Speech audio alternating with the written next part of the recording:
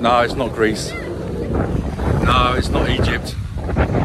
It's Kontor, a small village in Poland.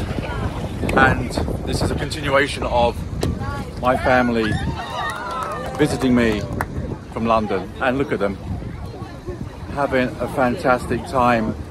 Wave to the camera, everybody, quickly. There we go. That's what it's all about, isn't it? Being together in this country, Poland, having fun. The weather's amazing, and the water of the lake is beautiful. So, this is another video of my family visiting me in Poland from London, having a great time on one of the beaches here in the area where I live. Isn't it fantastic? Give me a like, and if you want to see more videos from their visit, then in the comments below. This is Peter Dowell, an Englishman in Poland, loving it. Thanks for watching. Have a nice afternoon.